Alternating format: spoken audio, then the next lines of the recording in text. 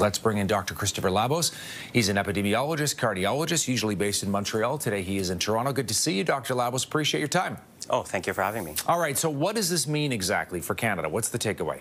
Well, the takeaway is that we have lost our measles elimination status. This is a bad this is a bad look for us internationally. It, it means that we have not done what we need to do, and frankly, we need to step up our game to make things better because we can regain that status, but it's going to require a concerted public health expert to get vaccination rates up. I mean, we've gotten rid of measles before.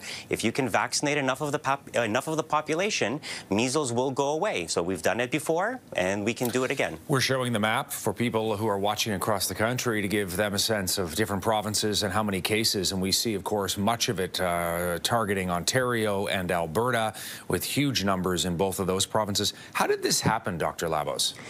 Well, it happened because we've been allowing measles vaccination rates to slip. Uh, part of the problem is, is that vaccines tend to be victims of their own success because nobody had seen measles in essentially a generation here in Canada it became less of an imperative for parents to go out and vaccinate their children. And as, because measles is so infectious, if you get below that critical threshold of 95%, that allows measles cases to spread. So all it takes is one international traveler to catch measles overseas, bring it back to Canada, and let it spread. And while there have been measles cases in Canada before, we haven't had this kind of sustained transmission for over a year, which is why we've lost the measles elimination status from the PAHO. I know that there has been some criticism for certain provincial governments, Alberta, for example, comes to mind, not doing enough. Is that fair criticism in your mind, Dr. Labos? Uh, I think it is because if we had kept the vaccination rates up high enough, we wouldn't be in this mess.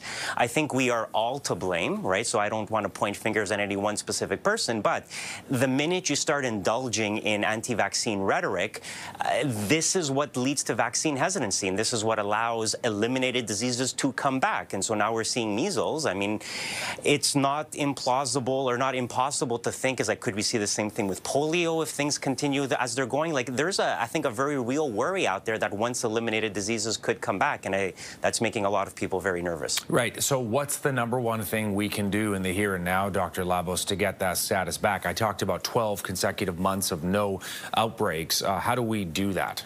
It's very simple. Everybody needs to get two doses, right? If everybody in this country has two doses, there is no measles anymore right? So with two doses, you have essentially lifelong immunity against measles. That's how we got rid of measles before. That's how we will get rid of measles again. We just have to make sure that everybody gets two doses. And it's worth reminding people that a lot of people of a certain age, like myself, only got one dose when they were children because prior to around 1993, or at least the mid-1990s, we only had a one-dose measles vaccine rather than a two-dose measles vaccine. So some people of a certain age might have to check their records and see if they need a top-up.